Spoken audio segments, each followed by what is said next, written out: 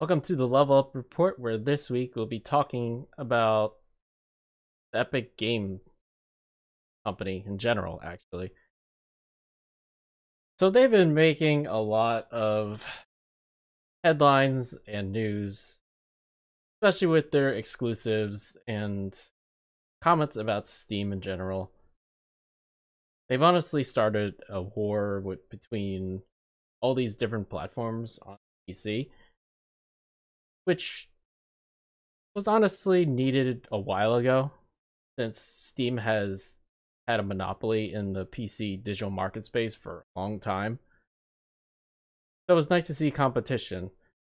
The problem I have with this is their approach to this, since they've been aggressively acquiring AAA games and indie games, and also crowdfunded games, without any regard to Steam, actually screws over anyone that pre-orders or buys on Steam. So I want to hear what you thought about this whole thing so far, Kuma. Well, we never saw this coming. Epic, they only became big with uh Fortnite, you know, and Fortnite was really lucky. It really lucky. It just happened. And uh, the only thing they have under them will be the Unreal Engine, which is massive for games, like for games to be good looking, to run well. So when they put out this platform, it's supposed to be a good thing. Like you said, competition. We want healthy competition. That's the key word, healthy. With them like um taking all these games, make it exclusive, it becoming like uh consoles, a console war, but on PC. But now it's a platform war. Uh huh. So it's a platform war, and it doesn't really do much because like do you really see the the difference in cost in the games? I don't really see it honestly. All I see is that this platform has some games that Steam doesn't have, or it's just like um time lock. It's just making it more complicated for the PC user because there's just so much things to launch. It just make it a little bit more messy because like if console, okay, you just one console, use one system for PC, got open this, open that, got sign this, agree to that. I gotta remember all these stupid passwords, stupid usernames. Can I play with people on Steam? Can I play with people here? How does it all work out at the end of the day? Right? It make it more restrictive to play with people. You know? It's Each really person might have a different yeah. server now, you know? Might have a different server. So um I don't know. I don't so far I don't really see much positive. And uh having Epic Store. The only good thing is, only good thing I see is for latecomers like myself to PC, they give out free games each week. That's the only good incentive I see so far in this. That's a pretty good incentive. But for me, who's had Steam for over 10 years, my library is a few hundred games. It's Wow. not going to do much for me because most of those games they're offering for free is or I already have it. Yeah, I figure I figure you really own it. Um well, uh both Epic just gonna be epic, but you gotta keep in mind that Steam took years to build up the credentials. They weren't perfect in the beginning. They had their own issues. So I'm gonna give Epic a chance to fix that and to become better. Because they have Steam to look at, to evaluate, you know? They will get better and they have to get better. And once they get better, I want to see that healthy competition come in place. They can't just keep snatching up exclusives because that's not going to win people over fully to from Steam. It's That's true. It's not going to happen. But I feel that push might make Valve start making their own games again. What do you think?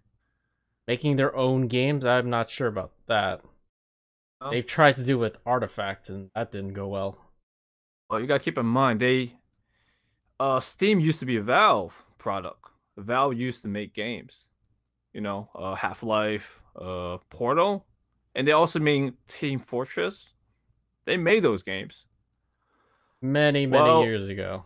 Yes, many years ago. But with this push, You never know. They might go back to making games. Then they will be exclusive as well. So maybe this competition will push for some greatness. I know people are looking forward to Half Life 3 for like 10 fucking years. That's a myth. That'll never happen. They'll never live up to expectations. It's a bad idea at this point. But anyway, um, well, we'll see like what how this will grow. I'm hoping that it will be good. That's my hopeful thinking because like everyone has to start from somewhere and with Epic having so much money, they could make all these changes. They could make their basic platform better to compete with uh, Steam.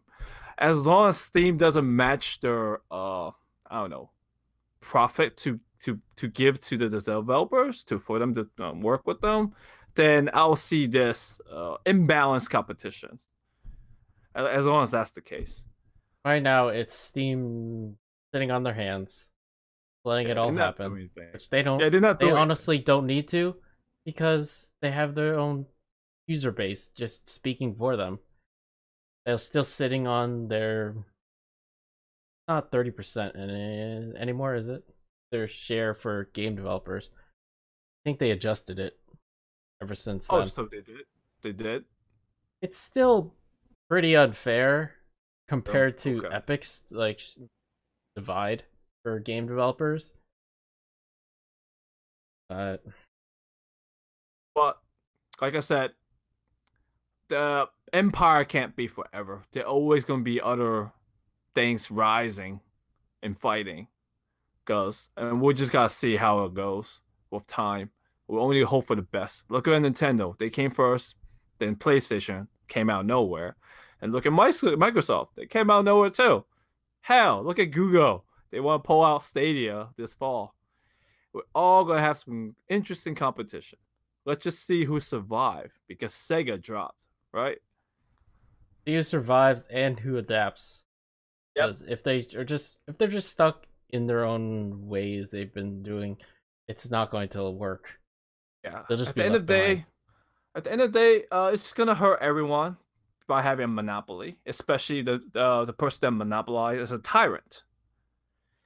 So we'll see what happens. Well, they dictate what terms and what happens in the industry because they're the leader. Anyone that does anything different, well, they're not following the leader. That's where everyone goes to. As long as the leader is a good leader.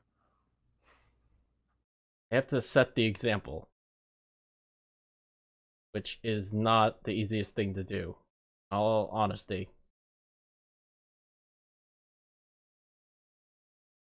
But that's gonna do it for our take on the Epic Game Company, who are making a storefront, which I don't think they're following their roadmap.